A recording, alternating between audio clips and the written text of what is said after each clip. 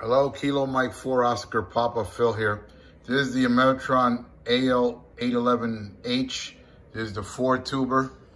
I acquired this in a trade.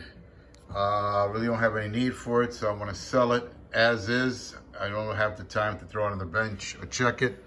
I briefly did open it up to see it's got four tubes. One is not lighting up, but everything's pretty clean. You see that yellow wire cut there, supposedly that's for a 10 meter mod. Somebody did it.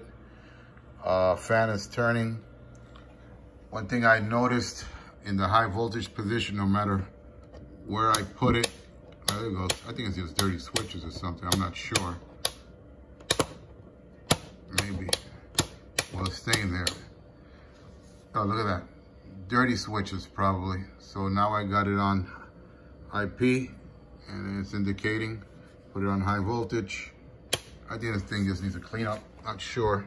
But selling as as is, somebody might want a good deal. I always try to give somebody a good deal because I don't have time to really fool around. But uh, there it is. Serial number. Fan is turning. Ameritron 811H. KM4OP out.